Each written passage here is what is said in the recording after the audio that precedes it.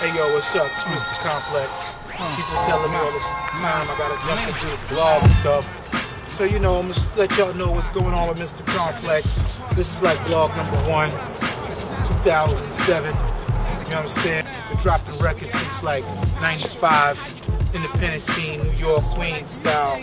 And you know, I'm not gonna even pull out all the singles, but this is a couple of the, the long plays, as you may say, LPs. This, matter of fact, was an EP of the Polyrhythm Addicts. But this came out 99, even though first record was 95. You can go look it up, Core Records, ha ha ha. So you know, I'm sort of like a superhero in this game, and I brought out the old school stuff there. Then you got yourself the uh, Polyrhythm Addicts there, yeah, rhyme related. Then you got yourself the complex catalog, pulling out vinyl. Who got vinyl now still? Yes, that's what I'm talking about.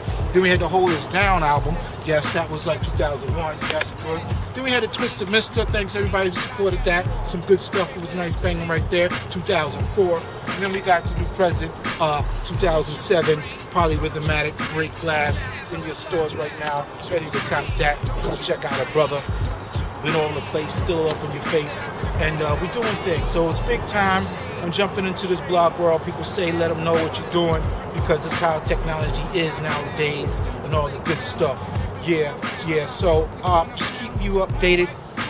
You know, appreciate it. Tell your friends. It's going to be some nice fun, exciting things in this whole year, you know, 07. Um, what else I got planned? I think I got a new album coming uh, soon. It's called Swiss Chocolate Cake, uh, recorded in Switzerland. And what else I got coming?